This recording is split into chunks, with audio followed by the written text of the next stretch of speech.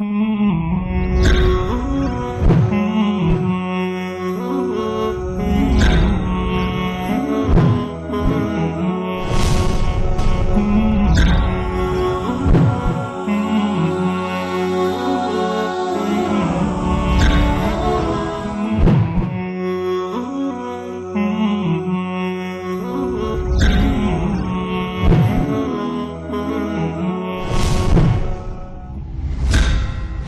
Assalamu alaikum, merahmetullahi wa barakatuh, poštovani gledatelji. Dobrodošli u novo izdanje emisije Naša svakodnevnica. Zajedno kroz e, našu svakodnevnicu pokušavamo da se popravimo, da čujemo nešto novo, da e, ono što je najbitnije, to nešto novo primijenimo u svom životu. Večerašnji naš e, gost je Hafiz Husein Čajlaković i govorit ćemo nešto više o ustrajnosti, koje su to stvari koje nam eto potpomažu da budemo u strani. Assalamu alaikum i dobro nam došli. Alaikum salam, bolje vas našli. Koliko je bitno u čovjekom životu da bude ustrajan? Koliko je važno pitanje ustrajanosti? Bismillah, alhamdulillah, salatu wassalamu ala rasulillah. Evo da započnemo sa Kur'anom i što bi rekao jedan alim da damo prednost Bogu ili Allahu Đelešanu nad svojim govorom jer je to najistinitniji govor kulu sada ka Allah, Allah govori istinu. Nema se šta ni dodatni oduzeti, kao ni našim dragom poslaniku Muhammedu alaih sallatu wasalam. E, znači, da započnemo sa Kur'anom ovoj večerašnjoj zanimljivoj temi koja se tiče svih nas, pa imene, imene i svih nas. E, mi u Fatihi to učimo danas 40 puta, imamo 40 sekijata, 40 puta molimo Allaha za tu ustrajnost, eto mi to prevodimo na, na onako u duhu našeg bosanskog jezika ihdina ihdina siratal mustaqim. Da kame je kum istikame e, znači stikamet je naslov glagola ustati a ovo je deseta vrsta glagola znači ustrajati. Znači kad ustaneš znači ustrajati tako da je jedan naš akademik preveo u Fatihi ne uputi nas Bože pravim putem nego uspravnim. Ono da, da ostanemo tako ne da se onaj pogmijemo ili skrenemo. Ali mi mislimo to, kad mislimo na pravi put, mislimo na Allahov put. Ali ovo je baš u prijevodu, kad bi išli doslovno, bilo bi put nas, Arabi, da ustrajemo na, na tom putu. Na tom sirat, sirat je put, ali na tom ostanemo. Kad, kao što je poslanik Resul alaihissalatu wasalam podučio onog beduina, kad ga je upitao e, da mu nešto kaže, da nikad više nikog ne upte. Evo sad kako da se ponašamo, kako da kroz život kročimo, da ostanemo na tom putu, onda me ali samo kratko rekao, kaže, da, da kaže mi da nikad više nikog ne pitam. Zanimljivo pitanje da, da su beduini tako jako pitanje mogli postavljati. Ali svat vesela mu kaže, kul amen to billah. Reci, vjerujem Allah, sume s takim i ustanem, ostane na tome. Znači, nemoj mijenjati.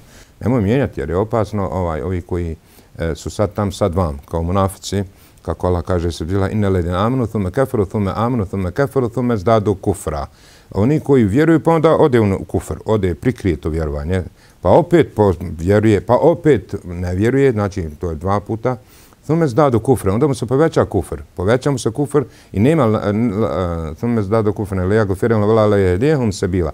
I neće ga više Allah ni uprostiti ni uputiti, jer je već izigrao svo to povjerenje, vjeruje, ne vjeruje, vjeruje, ne vjeruje i onda mu se to isto kao bolest, kad se poveća hronična bolest, onda se ne, mere, ne može izliječiti. Tako da je ovo, ovaj, jedan od e, recepata ili ovo tumačenje ihdina. Mi danas četiri puta, ako si već na prvom putu, što stalno govoriš da, da budeš na prvom putu kad si već na prvom putu. Nego ovo bi bilo bolje razumijeti kao Bože, pomozi nas da ustrajemo na tvom putu. Da ostanemo, ne samo da, a mi osjećamo da mi vjerujemo u Boga, da smo mi na tom već putu, ali da ne pokleknem, da ne skrenem na drugi put na krivi put ili da ustrajim na tom putu. To bi zato bilo, znači, treba nam Allahova podrška non stop. Zato 40 puta u Fatih to učimo. To nam govori koliko je važno kada... Koliko je to važno, ta istikamet, evo da kažemo da je to, znači, onako na, na, na naški prevedeno, uput nas na pravi put. Šta bi reklo sad, ono pravi da idem pravo. Nekada treba i okolo, možda je bolje nekad i okolo ići, da ne bi tamo na ograjso, kud, kud, kako mislimo da je to prava tačka, kud je najbliže da idemo. Ne, mislimo na pravi put, mislimo na Allahov put. Mislim da naši bošnjaci, oni nepismeni znaju šta je pravi put, stvari Allahov put. Ali ove baš isti, ta istikamet u pitanju, ustrani put, da do smrti tako idem. Va'bud rabbeka hata ja tijeka li jekin. Znači, obožavaj Allaha sve do smrti, sve dok je, do jekina, do, dok ti jasno saznanje ne dođe, a to je u stvari smrt. Kad čovjek umri, tada vidi pravu istinu. I najveći nevjernici, silnici, svi oni nepismeni i, i budale, tada, tada, tada mu se skida koprena ili stvari gleda drugim očima. E pa zato u drugom ajetu suri, onaj fusilet, Allah objašnjava, to je naj, naj, naj, najjača opcija za ovaj stikamet, ustrajnost, što, što mene i raduje, ali na lik način ne zabrinjava, nego da budem oprezni. Gdje Allah govori, ste izbila, inna ladina kalu rabun Allahu, thumma stakamu. Oni koji priznaju Allaha, znači kad već shvatiš da je Allah tvoj gospodar, da nema drugog Boga osim Allaha, da nema drugog gospodara osim Allaha, Znači, Rabbu Allah, da je naš gospodar Allah, gospodar koji nas održava, Allah, Allah, jedinstveno ime, e, glavno ime za na, gospodara svih svjetova. E, pa onda ustraju, znači, su zatim ustraju na tome, e, tete nezela alejhimul melajketu. Njima salaze meleki. Meleki im dolaze. Ela tahafu, vela tahzanu. I govore im, nemojte se žalostiti, nemojte se bojati, prvo rečeno nemojte se bojati i nemojte se žalostiti. Ovo su dva glagola bitna, e, e, žalostiti se i strahovati. E, va abširu bil dženne i radujte se džennetu eleti kuntum tuadun koji je obećan vama. E, sad kad tu melki, melki salazi? Pa u tefsiru ajta stoji da, da je to u, u momentu umiranja da dolazi meleki, kad dolaze da vade dušu vjerniku koji je ustraju čitav život na tom putu, koji je umru sa imanom, zato rećemo, vala temu tunne ila vantum muslimun, nemojte umirati osim kao muslimani. Znači šta je najbitnije? Naši su stari ljudi, e, dede i nene i ostali, nisu imali jednog razda škole, ali su imali naj, najjači cilj svatanja života. Kad bi pitao šta ti je konačna želja, kada je da odem sa ovog svijeta sa dinom, sa imanom. To je nešto najvažnije bilo. Ne ono koliko će imetka ostaviti, koliko je sakupio para, jer sve računa na dinalku poravno, nego da ode. Znači da na tom putu umre, da skonča sa la ilaha ila Muhammedu. I tu su bili jako čvrsti. Jaka, jaka je opcija. To je njima utufilo u glavu. Da je to najvažnije u životu, preseliti sa imanom. A, a taj ko tako pre, čitav život bude uvjeri, znači koji nije šeto tam vam, komunafici sad more i vjerovati i ne vjerovati, more zavisi koja je opcija, mu ljepša i lakša, Znači, on, njima tada meleki dolaze. Znači, u času, momentu umiranja, to je ljepota vjernika, to je radost vjernika. Jer Allah je rekao, vebširu, radujte se. Zato je rečeno u hadisu, uh, uh, innal mauta idun lil mu'mini, zaista je smrt uh, bajram za vjernika. Jer u momentu kad on bude umirao, kad ove oči budu, ne budu više gledale, jer ko je prisustvo umrlo, vidio da im su oči ukočene gleda, a kaže oči prate pogledom prate dušu. Znači, u tom momentu svak vidi kud ide. Predstavljam se mjesto u džennetu. Meleki dolaze u najljepšem liku. I oni selame i govore, ne, ne, ne boj se. Šta sad, što je prvo reći, ne boj se. Ne boj se to što će sad dalje biti. Mi se obično bojimo ono što će biti. Jer nemamo se bojati ono što je bilo. To je već prošlo. A onda kaže, nemoj se žalostiti za onim životom koji te prošlo, jer si bio na putu istini. Bio si ustrajan, znači nemoj se žalostiti, bio si na istini. Nek se žalosti oni koji su, koji su bili na šetanskom putu. Pa je on dopingovo da, da radi to što radi, pa su imali snage da izdrže. Znači, nemoj se žalostiti, vidiš ljepote. Iako će i griješnici tada imat, stoju predajama, lijepo mišljenje o Allahu. Kaže se u predaji, nek niko ne umre, ne ode sa ovog svijeta, a da nema lijepo mišljenje o Allahu. Zato što Allah sebe opisao sa svojim najljepšim imenima. A kažu da će i griješnice tada fino misliti o Allahu, koji su možda neka se i žalile na Allaha i vikali, Bože, šta ja sam evo zaboravio, šta ovo se sa mnom dešava, šta je ovo i tako dalje. Jer i kad bude vidio džehennem, opet će imati lijepo mišljenje Allah, jer mu tada ni otac, ni mate, ni doktor, ni pare, ni metak, ništa mu neće pomoći. Morat će se opet uzat, misliti, ja rabi, pa eto, ko će mi drugi pomoći, osim ti. I ono što bi trebalo sve nas muslimane da radi je taj moment umiranja, jer nikom nije stalo da umri, niko ne želi da umri. Čak je Aisha rekla, kad je Resul Ali Salam kazao, e, onaj ko ne želi susret sa Allahom, ni Allah ne želi sa njim. Pa onda kaže Aisha, ja Resula, mi smo svi propali. Što kaže? Pa mi svi mrzimo smrt. Niko je ne voli. I ona jedan je čitav život nosio na sebi, ona je drva, tako živo, teško, jedan put rekne, odmaro se, ja rabi pošalji mi Azraela, više mi je dojadio ovaj život. Tamo što je to izgovorio, ugleda Azraela. Kaže njemu Azraela, ljudino, šta si nam malo pije rekao?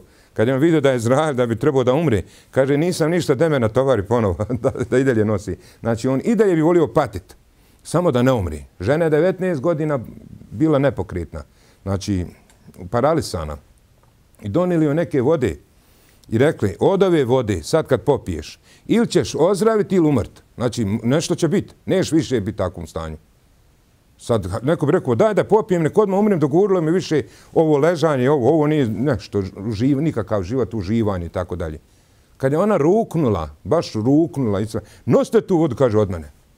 Znači, i dalje voli da živi neki nepokritna, samo da ne umri. E, a za, za nekoliko sedmica je preselila. Ali hoće se ovdje kazati, čaka Iša, čerka Ebu Bekrova, žena Pengamberova, kaže, uh, mi ne, ne volimo smrt. Kad, a Iša nisi razumela, baš je rekao sam. Nije tako, kaže Iša. Nego kad čovjeku dođe smrt, pa kad vidi Meleka Izraila, kad ove oči više ne budu gledale, kad bude gledao drugim očima, kao kad sanjamo, žmirimo, vidimo. Znači imamo mi, ima ovo aparat samo, ovo oko, ono samo je pomagalo našoj duši. Tako, zavisi koliko duša pročišćena, ko neko, neko vidi drugačije istu stvar. Na, zavisi koliko je duša čista, kako oči, onda nisu skrive oči, što Allah kaže. Vala, kin ta'amel kolu obulleti fisudur, nego srca. Znači, e, naše oči samo se kao ono što, što srce želi. Preko njih mi samo to realizujemo i, i u, u, unutra upijamo. E, to sad što hoću kažem, znači, kad dođe taj moment, onda kad bude vidio ljepote dženeta, meleci, ona jagme se ko će mu dušu uzeti. Ona miriši miskom i najljepšim mirisom. Ne, nema na dunjalku mirisa kojim ta duša miriše i vjernička duša. Čak se zemlja gizda gdje će vjernik biti ukopan. Nam zemlja mirisa toliko Allah voli vjernika, zemlja ga voli i nebesa za njim plaću. I on vidi tu ljepotu, vidi dženet. Meleki mu dolaze u najljepšom obliku. Duša će mu izaći kao, kao dlaku iz tijesta da izvade. Tako lako. I onda on zaželi susret sa Allahom. Ne bi se nikad više vratio na dunjalku. Nema to kad on vidi tu ljepotu, on želi, pa šta će mi ovaj dunjak, ovaj, ovo, ne znam ja kako ga je, ali sam nazvao kao krepano jare. Ali mi to još nismo vidjeli. Jer ljudi kad bi vidjeli to, sve bi pomrlo. Ne bi niko tio živjeti više na dunjalku. I to je mudrost Allah da je sakrio ahiret od nas, ljepote ahireta. Ali mi objavio objav da vjerujemo Allahu. Ne u Allaha, nego Allahu da vjerujemo. Ja se i nadam tome, svima nema žao mrt. Ali kad to dođe, neće nikom biti više žao ne bi se vratio. Onda zaželi susret sa Allahom i onda dobije tu sigurnost. Ne boj se, ne žalosti se, raduj se. Pogledaj ovo. Ne boj se, ne žalosti se, raduj se. Raduj se džennetu. I onda on, znači, kad ovo saznamo, kroz sve ovo, imamo računa kad nam bude teško, da kažemo sami sebi, eh, uh, onog neka čovjeku, da kažem, doguri, mi reknemo u Zenici, doguri, doteža, dojadi, ono, kaže, ja sam se umorio više od ovog činjenja, dobra, kao pritišće ga teškom i tako dalje. Ja se odmah sjetim i onih drugih koji na šeitanom putu radi. On posunuo smere skaka diskotece, on organizuje koncerte, koride, teferiće, grijehe, igranke i tako dalje. Sve ono što nije dobro. I on se on, noćima ne spava, umara se, a ne jeda se. Pa kad se on ne jeda na šeitanom putu, on plaća, on se muči da džehenem zaradi. Što bi se onda, da sam sebi olakšam, da ne kažem pa vidi teško je, pa i njemu je teško ali on ide za džehennem, tako da. Tako da, onaj, ljepota je to vjerniku kad zna kako će to sve poslije biti, onda je ovo kratak, jedna ta jedna staza, da je prijeđeš autom istekametu, da, da ne bi posustao da ne posustuje, jer zbog ovog dunjalka on je onako malo izazovan. Allah na, na, na, na mnogo mjesta govori, pusti uh, derhum, je'kulu eteme, kalila. Pusti malo nek trenutno uživaju. To što mi sad mislimo, ajde da mi je se vratiti u neki život da uživam. Ne znam ja da li oni uživaju. Možda se to samo nama čini i onda Allah kaže, nahnu evli voli fil hajate dunava fil ahire. Allah je naš prijatelj i na dunjalku na hiretu. Znači, ko kreni putem ustrajnosti na Allahovom putu i ustraje na tim, on ima zaštitnika. Allah Đelešanu. On mu je zaštitnik i prijatelj, a ko ima bolji prijatelj od Allaha? E, I donosi mu radosne vijeste. Ona, I ima će na hiret kaže što godin duša žaželi. Znači sve što nas ovdje prođe od ovog kratkog dunjaluka, užitka i tako da kažem, a, namir ćemo Allah na, na hiretu u džennetu. Tako da onaj, ovo poruka svima onima kojima kad bude teško, nek se sjete i oni narkomana, ovisnika, kada kažem, i oni zinalčana, i lopova, e, i dunjalučara, nije njima lako.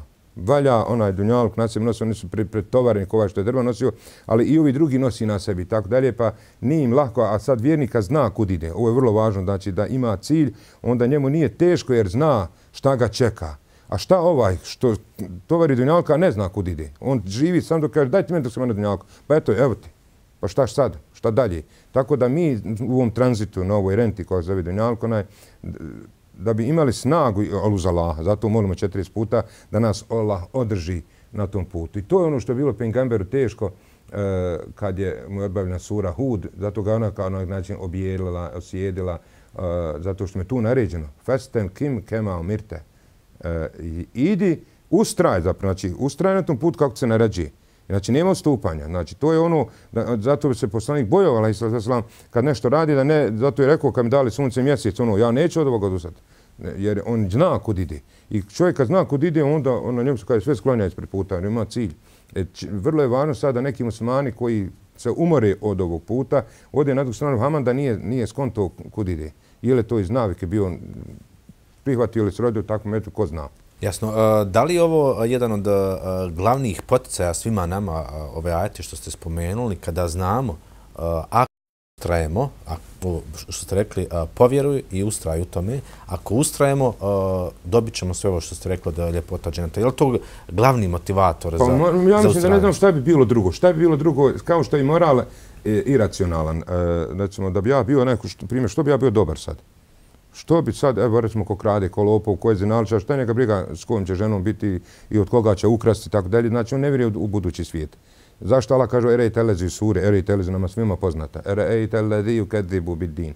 Jesi li vidio onoga koji neće sudnji dan? Kakve su ti ljudi što ne vjeruju u sudnji dan, ne vjeruju u ahiretu, u život posle smrti. Znači, on gleda da sve svoje popuni pod nadnjalku. Zato današnja nauka je više nekad i opasna i današnja znanost može biti problem kad je bez Boga jer nema onog ahiretskog obračuna. Oni ne vjeruju u to, pa ono kaže, dajte da ja ovdje ostvarim dobit, profit, što ima veze što će naša djeca i naša unučad, ko zna kako će živjeti, što ima veze što će ja vam veće štetu napraviti, a ja hoću dobiti. To je ono kad imam cilj, a ne biram sredstva. To je, znači, nema straha od Boga. Zato muslimani, u stvari, e, ta tehnološka industrijska revolucija, kako bi nazvali, tehnološki napredak se ni mogu desiti lako ni na istoku. Mogu, ali nije vaki mogu biti. Zato što se muslimani boje Boga. Jer on neće da nešto pravi što će biti na jednoj strani progres, a duplo veći regres. Znači, već, duplo veća šteta. Kao što sad ima tableta, sad kad je pročitaš, samo dva reda piše čemu koristi. Onda voliko piše čemu šteti. I onda se pitu, pa što, to, to, što trošim tu tabletu, da se ogradi, da kaže, vidi, vidi čemu ti sve, sve škodi. Znači, da li mi sad imamo ne, tu alternativu da, ili da se liječimo ili da živimo, ali ima. Imaju muslimani, vjernici imaju zato što se Boga boje. I tako da oni nisu mogli ni, ni buknuti tako kao što je to e, e, moderni svijet onaj buknuo u tom, u tom tehnološkom razvitku, jer oni su se odrekli Boga, vjere i onda su rekli, znači, nauka je moć, on, oni stavljaju čovjek od središte svega zbivanja, po njima ne uzbila Bog je umro i tako dalje, onda njima Allah pripušta i tako dalje da, da i tu znanje šeitaniziraju i tako dalje, onaj, e, pa da čovjek se boji današnjih znanja, boji se svoje tehnike, boji se, boji se onoga što je izmislio, što je sve uradio sam sebi je to prizvo, a to je ono ikre bismi rabik, a nije uni sa bismi rabik, nije učenje sa imenom gospodara. Oni koji ne vjeruju u sudnji dan, Allah kaže, fedalike ledi jedu oljetim, vele huddu ala tamil miskin. Oni odbijaju siroće da nahrane e, i, i siromaha, onoga jet, miskina, da nahrane, a odbijaju siroće. Što oni odbijaju siroće? Pa šta njega briga za siroće? On hoće da on ima. E, šta ga briga miskin? Bijeda, bijeda. On će tebi kamatu uračunati, ti crkni, umri. Jer on ne vrije u obraću na sudnjem danu. On hoće ovdje raj na zemlji. Zato Allah govori, to su oni koji hoće samo dunjalku. Oni su problem, nego Allah govori za oni koji vjeruju ahiret, oni znači, ima, ja ću biti moralan, ja sam dobar, zato što vjerujem da ću imati nagradu za, za to što sam dobar. Ne čekam samo ovo, ko će me odmah ramaširati, to je, to je uzajmanje, to nije pomaganje. Kad neko nekom je pomogne, pa mu kasnije prigovori. kaže, znaš li kukav će da sam ti valio, Pa nisam ni fala rekao. Pa ako si to radio zbog ahireta i svoje nagrade, onda što te briga, jel ti valju, jel ti uz revanširu? A ako si mu tražio, odmah trebaš mu reći, Jarane, nisam ti pomogao nego uzajmio, pamti pa vrati. Trebao bi tako kazat da mu sutra ne prigovori. I da mu kaže, znaš li kad sam ti rekao, vrati. To su oni koji hoće da na dunjalku da im se vraća i tako dalje. A znači oni koji vjeruju u ahiret, i nagradu na ahiretu i ovo sve što ga čeka, koje te ljepote, ali malo ljudi koji koji su svjesni toga i sudnjih dana. Da li su uopšte svjesni? Kao ono, valjda ljudi to kontaju kad vatra vruća, pa veli, hajde, ono, taj kad oprži vidiš da je vruća i, i hajde, daleko je to, ono, oni ko, Allah Neće kaj, mene to, ne Ja i leto nije to još meni došlo red, pa kad bude sudnjan, nek bude, znaš, onaj, nije, nije čovjek svjestan. Ni, nisu ljudi svjesni ni sami smrti. Umiranja, recimo, za primjer, sad kad ja, kaže, kad griješnik umre, zemlja se radi. Zemlja se radi, na životinje se uh, radi što je, što je ošlo zlo sa ove zemlje. Znači, čak i ružan zna kad neko ponese dženazbu ako hajvan, ono, riči, kako se kaže, jer kaže, umrli se toliko deri, kaže da sve čuje osim džina i ljudi. Kad bi ljudi čuli koliko se dere, sve bi se u nesvijest popadalo. Toliko je strašno. Da, ba da ljudi vide šta se dešava s umrlim, ne bi ga niko smio zakopati. Toliko je strašno da vide šta će sad biti sa njim u kaburu. Mislili bi se da li, da li bi ga smili zagrnuti. I kad neko žali onog umrlog da vidi šta će sa njima biti, da i njih Azrael čeka, oni bi se o sebi zabili, ne bi ni mislili na umrlog. Ono, svi plaću, ovoj nema ga više, pa i ti si na redu, nisi ti potencijalni, ko ti ćeš možda ostati. Znači, nema niko da će ostati. Kad Allah kaže da će sve pomrti, i na nebesima i na zemlji, onda ne znači taj dan kad god, on će doći. Pa kad znaš da će doći, onda što bi ja živio takvim životom da, da se životinje radi kad umriš? Ili kad umrim ili bilo ko? Onaj, I da, da, da to duša smrdi, nema te lešine na dunjalku, a smrdi ko njegova duša pa kako ona prolazi, kako je ružno da čikuju dok vidi svoje mjesto džehennom i opet se vraćamo kod svoga tijela. Ne ono, ja ne volim da strašim, ali ovo je samo meni veći poticaj da ne budem griješnik, da ne budem zlo, da ne budem onaj ko... Zato vjernik je kao pčela, ne mere nikome škoti, ne mere biti rodista, ne može biti on onaj koji izrabljiva druge ljude. Ne mere vjernike samo dobro i sebi, i kjafirima, i vjernicima, i muslimanima, i čitavom dunjalku on dobro. Zato on neće nešto ni napraviti što će škoditi ljudima. Neće sve kad bi znao da će izumiti neki izum koji će škoditi ljudima, on to neće. Jer je vjernik, pčela samo rekorstiti. A Ali Isalam poredi vjernika kao pčelom. Zašto bi onda bio grešan? Zašto bi bio štetan faktor i sebi i drugima? Ako znam to. I onda bi na svima bilo bolje. Ali ako niko neće, hoću ja. Znači svak za sebe ide, svak za sebe mre i svak svoj tovar nosi. I onda gledaš svog posla da ima računa, živeti život. Pa Pengamberu su nudili. Recimo, on dolazi svoj čerki Fatimi, ona, ona se nema s njim, ona, samo neki ugrtač, nema s njim glave da pokrije. Pa dva, tri dana nije jela, pa nije mogla iskući izaći od gladi. Pa kaže, pa i ja, i otac ti je gladan. I on je kamen stavio na stomak. Pa kaže, pa je radije sa, sa subhanala, stakvrala, alhamdulillah, Allah, akbar, ono da, da, da, pa je tražila slugu, pa, pa je ali sam kaže, kad legneš to, prouči, to ti je bolje od bilo kakvog sluge. Pa mu Omer kaže, daj da ti nešto malo bolje postelje, napravo na hasuri spava. Pa kaže, Omer, bil ti volio da imamo dinalki lahirete? Znači, nije ga, nije, nije, nije Allah odredio da ovde bude, da logor je da uživa. Znači, on je ovdje samo kao putnik koji se malo cijel uhlad, pored, malo se odmorio i nastavi dalje. E sad je ovdje problem kako ko razumije, kaže, pa moramo živjeti, pa moramo, eto živi, nije problem. Imaju granice ne, jeste, ljudi pogledaj shvate, kaže, ti nas odbraćaš od dunjalka. Ma mi se borimo za dunjalki bez ovoga inako, inako. I najnepismeniji, najveći griješnici se bore za njih, hajvani se bore. Mi se instinktivno, nagonski borimo na ovom svijetu. Bez obzira koliko mi govorili, bori se, ba borimo se mi. Ne treba sad neko, nekom hođe na zapad govoriti, bori se, on bori da ima platu, da živi. Svi se mi borimo ovdje, posla tražimo, mučimo se, ili tako? Znači, hoćemo oko neki lagodan život i tako dalje. Znaš. E, ali trebamo znati neka pravila na, na ovom dunjalku kada Allah uspostavio da, da bi sebi pomogli, da bi nama lakše bilo, da bi drugima ne bi škodili i da bi ostali na tom putu u toj stvari vezi. Zato i nama pet puta nekom je teško i klanjati. Ali ovdje, kad god teško i klanja sjeca i oni koji tamo su u toj šetanskoj vezi, šta oni zbog šetana žrtvuju? Koje, koja sredstva, i dunjalučka, i financijska, i žrtve, i šta sve ne radi da bi šetan bio zadovoljan, da bi ostali na tom putu kao jedan moj džemetlja kad sam ga pitao, ovo samo govorim kako, e, kako oni se ne umore i kako otkud ta ustrajnost na tom, u taj isti kamet u šeitanluku. Pitam ga, ja rekao, vidim na džumu ne ide, stariji. Nikako ne ide u džami, rekao, misliš li ti ikad, rekao, počet malo bar na džumu? Kaže, e, nikad. Kaže, ja se ne mijenjam. Vidiš kako njemu šetan logiku stvorio, ti si čitav život bio taj, nisi išao u džamiju. Nemoj sad budeš munafik da ideš u džamiju. Znači, ostani, ustraj, umri, a ne idi u džamiju.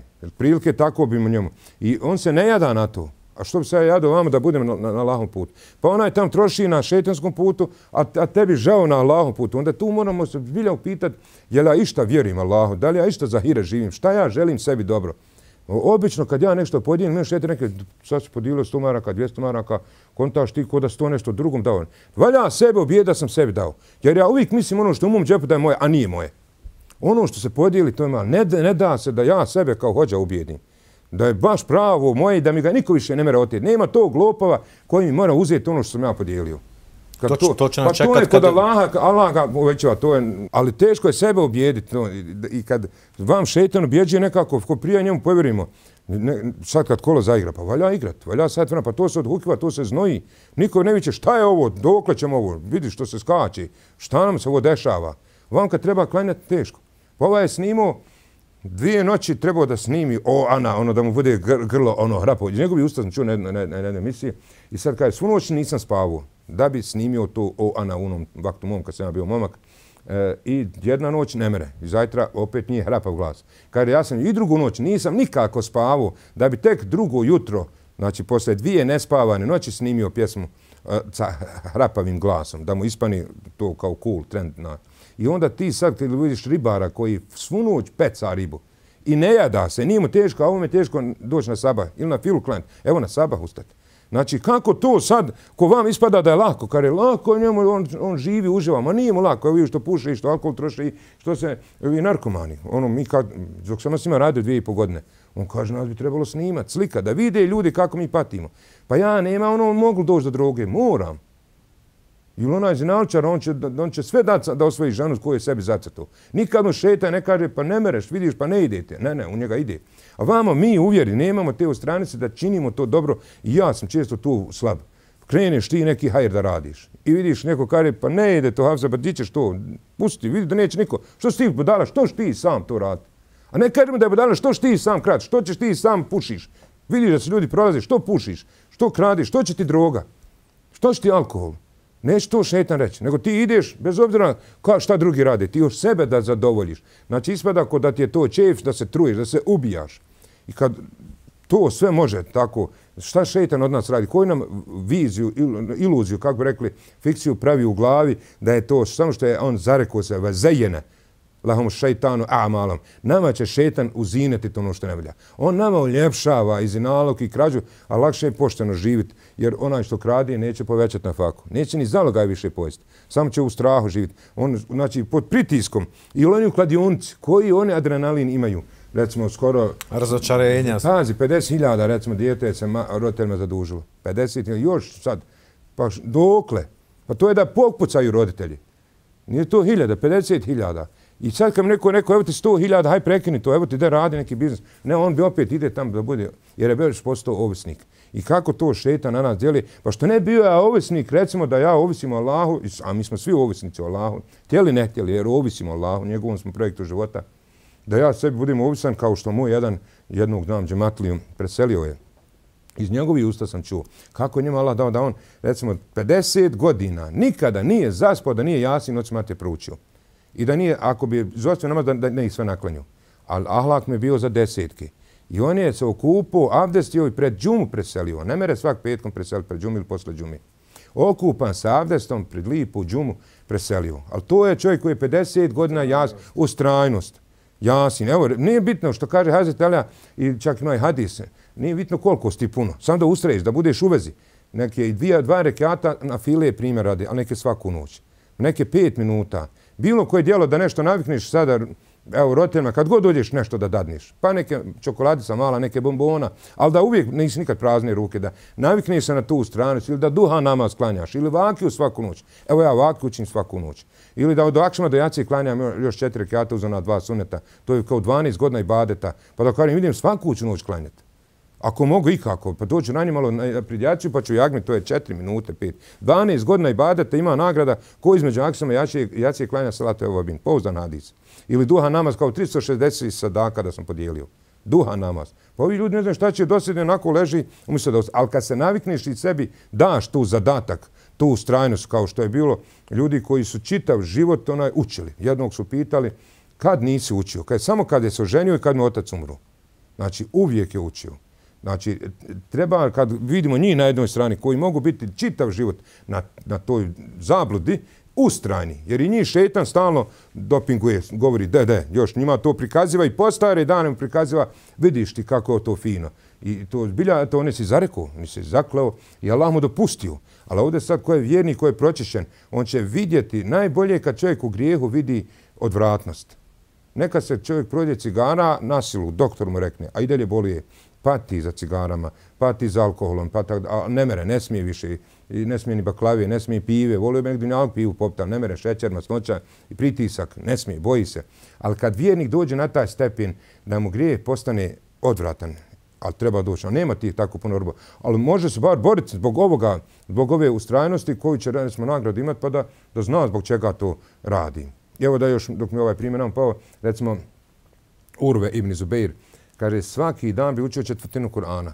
Pa da ja sebi kažem, mogu li ja, recimo, ja sam sebi zadao, ja džuz na pamet ponavljam, ja, ja mjesec dana prijeđem vas Kur'an, klanjajući ovako na kijam, ne ponavljam Kur'an nikako gledajući, nemam potrebe, jer znači, dnevno čitam, cijeli džuz proučim. Sebi sam zadao da moram jasini zajtra učiti, na večer vakiju, te bareke i seđdu i tre, deset puta kulovela. Zadao sebi da moram deset salavata i zajtra najveće ući, primjer radi. I nema ono, ako mi nam padne po dane, ne, ne, zajutre je ovo, najveće to. I to, nema ostajavanja. I na putu, na, tako dalje. Ali mora sebi nešto čovjek kazati, idem biti ovome ustrajan.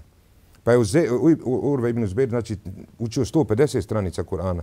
Bilo je ljudi koji su svaki dan i danas ima koji svaki dan hatmu uči. Ebu Hanife svaku noć poručio Kur'an. Nikad spavao do sabaha nije.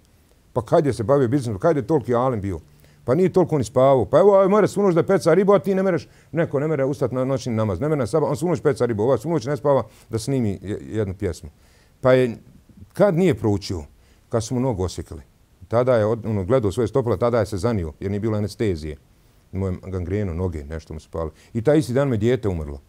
A imao je još šest sinova ostalo. Pa je rekao, ono, valja biti na tom stepenu. Kaj, Jarabe, eto, uzao mi to što su uzao, opet mi dosta ostavio, još šest sinova imam.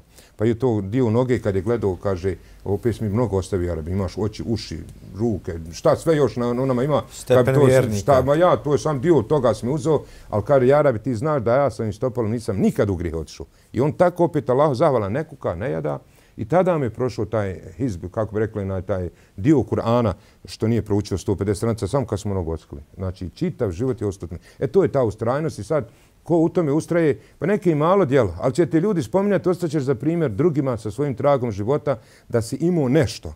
Nije važno više sad koliko para, da ne bude ona, ona dijeli po hiljad maraka, pa dijeli ti po deset feninga, neke svaki dan. Jedan je sebi zarekao, pa će svaki dan dijelio po 360 sadaka. Svaki dan. 360 dinara.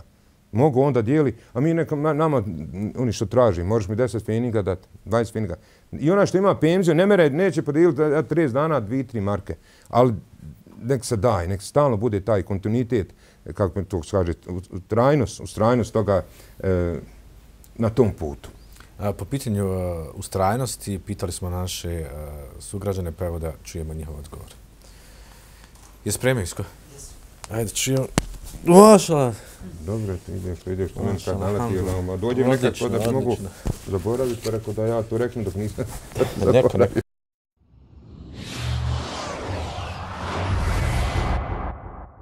Kad nešto radimo, kako da ostavimo ustrajni da to nastavimo raditi? To je opet za svakog pojedinca ko je sposoban da se koncentriše ono što radi, misli o tome i da završi, mora.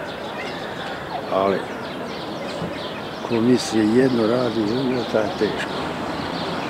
Pa ne znam, onako, iz moje perspektive, džemat prevashodno, pa onda sigurno i, i učenje i isticanje znanja pomažu na održavanju, ne znam, vezi sa sa, sa džematom. Sa. Teško, na ovom, na ovom prostorima je jako teško ostati u stranu.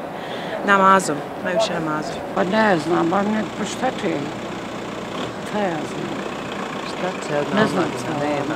A kako? Uz pomoć dobrih ljudi, jedino tako i dobre savjete da primaju od dobrih ljudi, a ne od loših i, i od ovih lopova. Ma šta ja znam kako, mi stari nismo ispravni svakako, pusti to. E, studenti moraju da vrede, da, da budu vrijedni, da uče dobro, da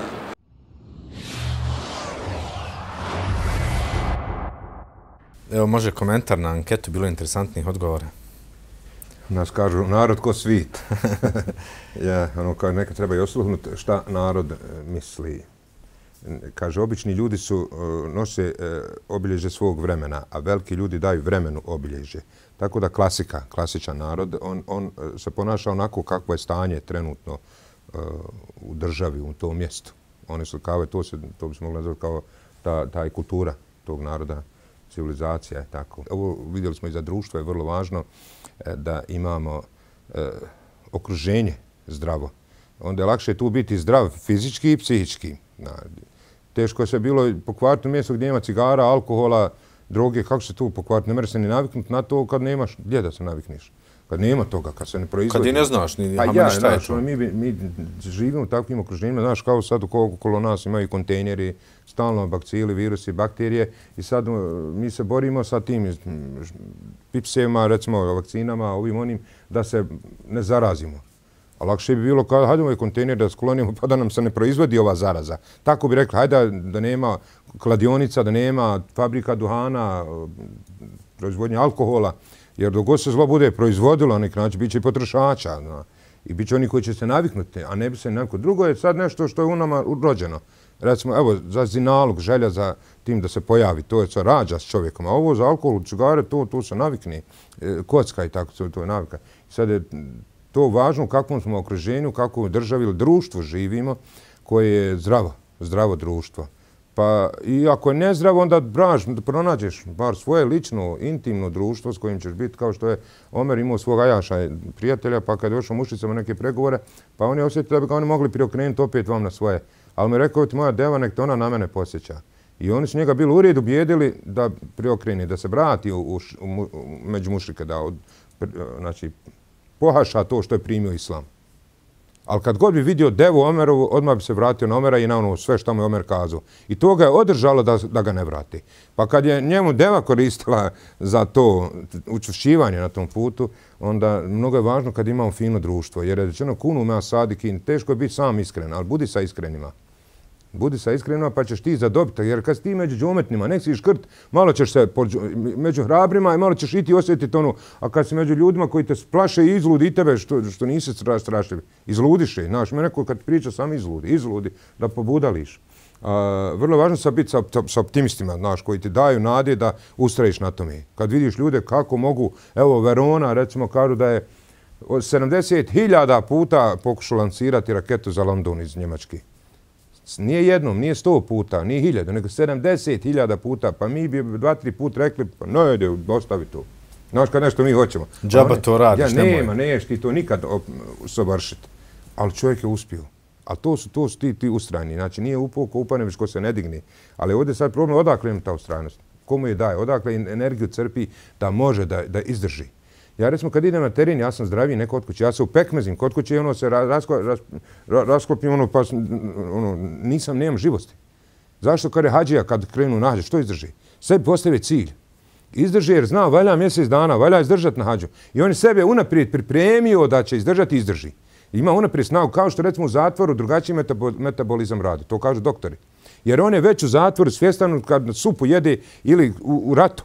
Ljudi se manje razboljavale. I u snigu spavali, u rovoma, što? Zato što je on zna da je u ratu. Njegov organizam drugačije radi. I kad ti sebi stvariš onu po- cilj da izdržiš, onda ti Allah pomogne. Pa ti izdržiš. Kad čovjek hoće kuću praviti, odakle mu nolika energija, da, noćima ne spava, radi, usmjene i svašta, prikuplja pare, ulaže jer živi za tu kuću.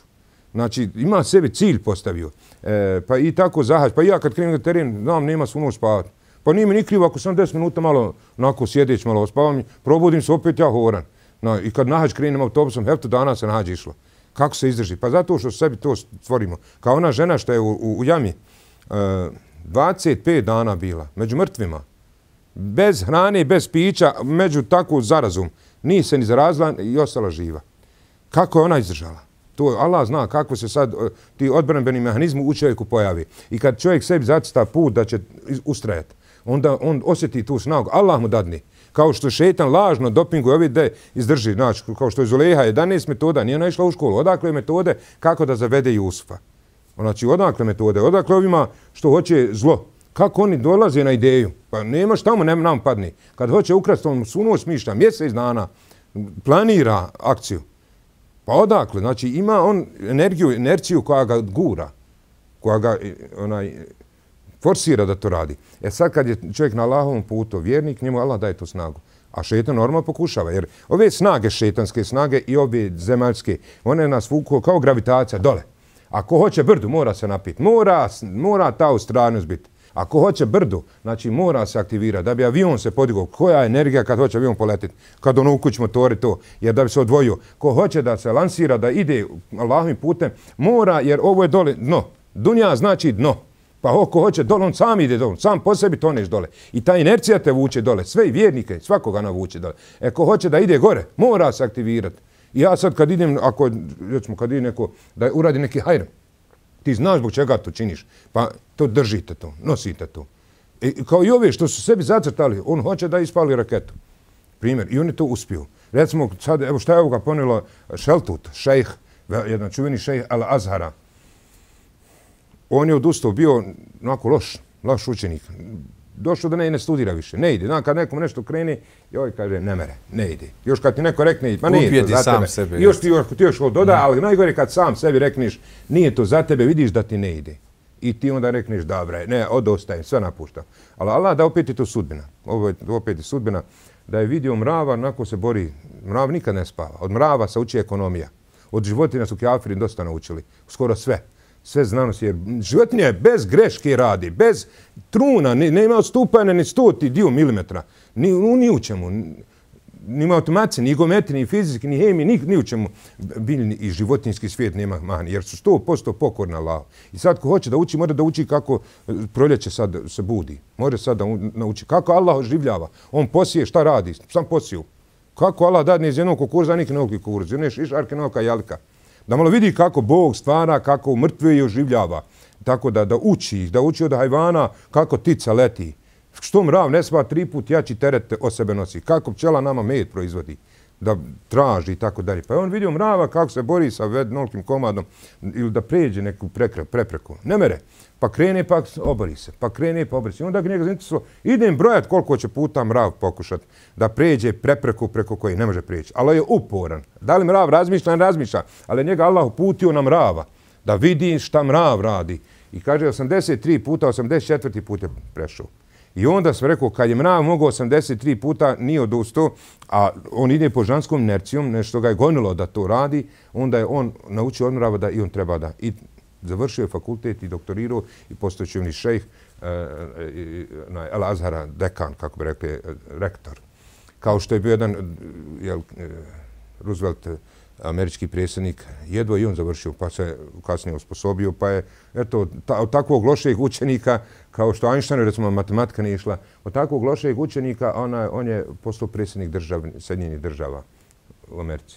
I sad došao na jedan govor da sabrala se tu masa ljudi da čudnu šta je on, šta će im poručiti, koji, koju poruku, što je on uspio, kako je do guru do predsjednika. Ali on je održao najkraći govor u istoriji koji je sam sebi kazao. Samo je rekao dvije riječi. Izašao na govornicu, sad čekaju oni. šta će kazati? Kao što je Derviš Fendija došao u jajce, daš mu deris, pa mislili šta li će im sad vajati, koje je neki tam visine. A ono abde se pričao. Jer ljudi, ljudi su nečisti. Ljudi, ljudi se ne peru posle male nužde. Nisu nikad čisti kad klanjaju. Da li je testirat? A on nešto tamo pita, on neka pitanja, pa nije čisto ošao u džame, nešto s hođom raspravlja. Možda nema ni kako treba abdesta nije uzeo. Primjer, nije se možda očistio, ta haret uzeo kako treba ne zna, dobije pruč kad ulazi u džame, nešto tamo, nešto hoće, daj, pričajmo. Šta je pričat? Da nauči abdest, da nauči gusul, tajemum i tako da. Pa ovaj, šta će sad pričat? I on je sam rekao kratko, ne odustajte. To je otišlo u svijet, znači to će se pričati dok je Dunjaluka, taj njegov govor će se prepričavati. Da je sad vremena pričao, ko zna šta bi zapamtili. Ali on je sam rekao ne odustajte. Veliko je porku, jaku, snažnu poslu. Znači, kao što ovaj mravni odustao, nemoj ti odustati. I ne završavaju fakultete baš svi oni što su bistri, nego oni što su uporni.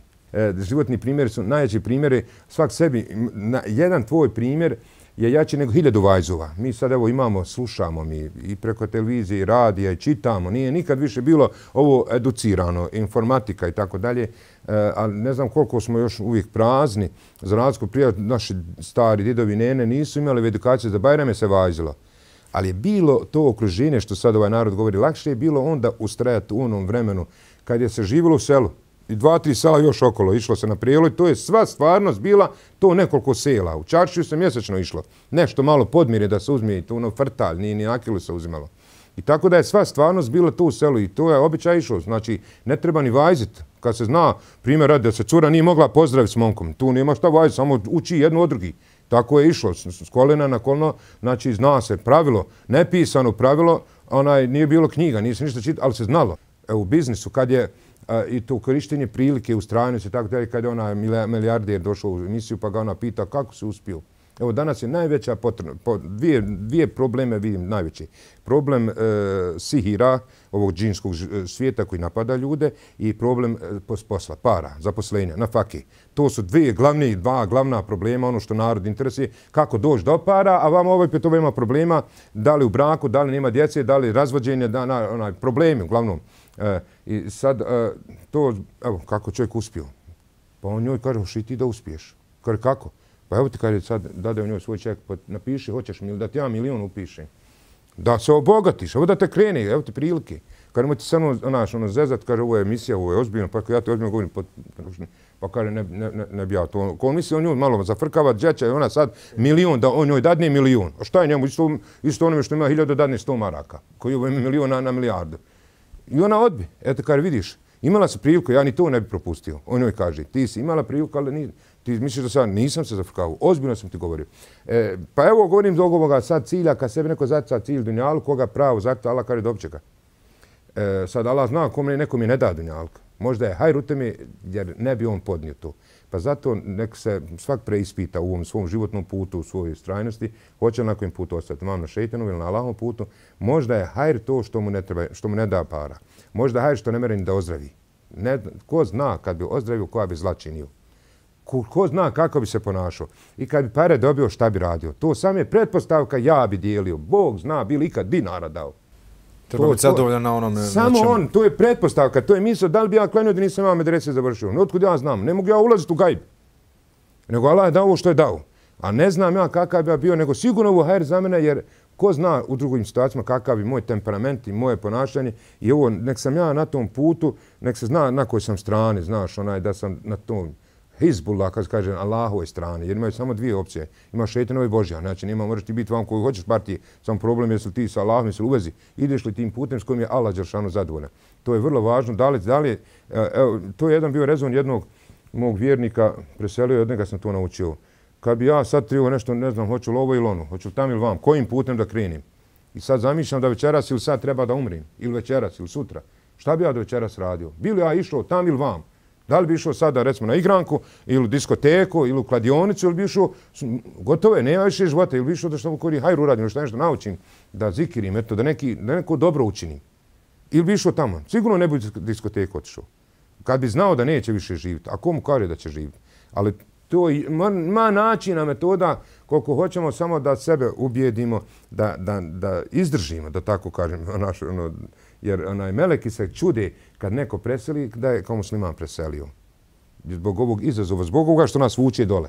Ovo sam tako nekako razumio da je dunja nešto što je nisko. I valja sad stalno se uvijek te vuče dola, ti trebaš kad god trebaš gore. Jer je to inercija, to je sunetula, takav je dunjalički život.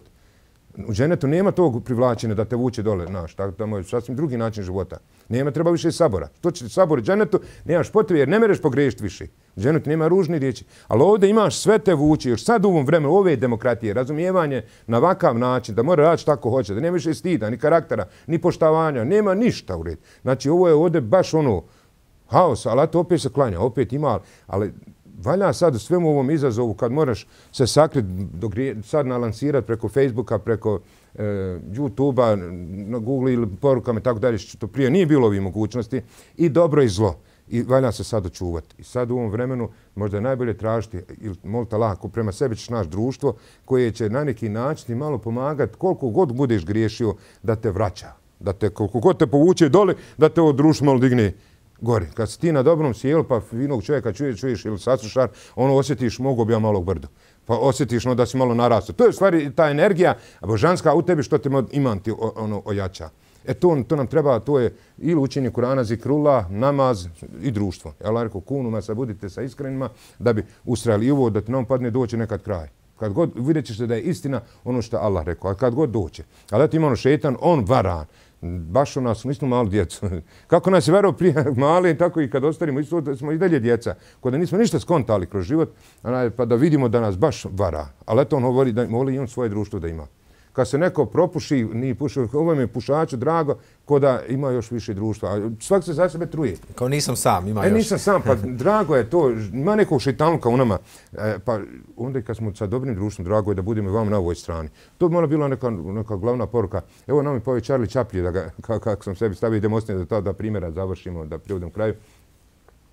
A kako to se u njima javi, ta želja, ili je to Božji projekat da po, preko nekih ljudi se dešava to, kao što će Allah kada je sačuvati vjeru preko griješnika. E, jer on je takav, odvažan, on je zato, on, onaj, on, od njega ima narod koriste, a on neće imati, ali će Allah sačuvati preko njega. Pa, pa su mnogi ljudi kroz istoriju bilježili svoj, svoj život sa posebnošću nekom. Recimo Demostin, on je muco i ovako ono mu rame, ono, letristo što ima ljudi ovako uvijek mora nešto, ono, kad priča ovako nešto, na, ne, neka nak. I on ima tu, ili urođeno, kako to stekao, da mu rame se miče i malo ružno gledat, on kad govori da se to dešava. Ali on je metno mač kore koji će ga udarat kad bude ovako makni. A kad je dole ovako neće. I on kad god bi, a dobro ga zaboli. Dobi tu, i, e, tu naviku lošu da mu ne ide rame gori. Jer valja da ga ubode mač. A pred vodopadima, onoj velikoj buki, je onaj govorio. Govorio da bi istrenirao dobar govor, jer muco, nije mnogo do, dobro izgovarati. I kasnije je postao veliki retoričan. Znači, on je pojam retorike onaj, e, u toj nauci, on, e, Demostin. Ili Charlie Chaplin nije spavao kad je svet svijet ugašan. Nešto ga je strah mraka, nego kad mu neka ideja dođe, on odmah ustane i zapiše.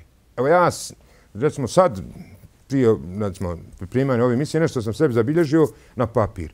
I nemam više, rekao još jedan primjer, neću, rekao njega znam, ne merim ga zaboraviti, ni sad ga ne znam. Ja, a da sam ga zapisao, pa mislim ja, toliko mi je poznato da kasnije nema vazna, ne mogu Bog će ikad sjeti što sam ja mislio. Ali eto ovo što je Allah tio da se ovdje sad ovako spomeni, e, znači da se borimo, da se trudimo, Allah će vidjeti naš trud. A ko se bude trudio, Allah će mu pomoći. Veledine džahedu fina, la nehdi jennahum sublana.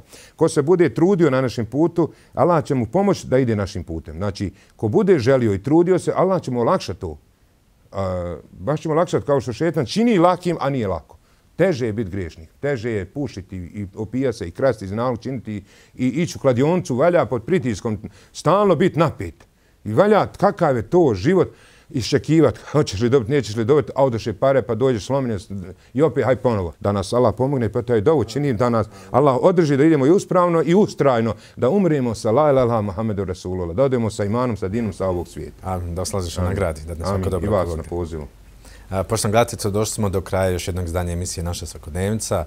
Kao što Hafiz spomenu kroz mnoge primjere, da se trudimo da budemo ustrajni, da nam Allah Žešanu olakša na tom putu i da, ako Bog da, svako će nas preseliti, kad preseli, da budemo vidjeli društvo Meleka koji će nam reći nemojte se bojati. Do naredne emisije svako dobro i jesalam lejkom, rahmatullahi, brekiatu. Mm -hmm.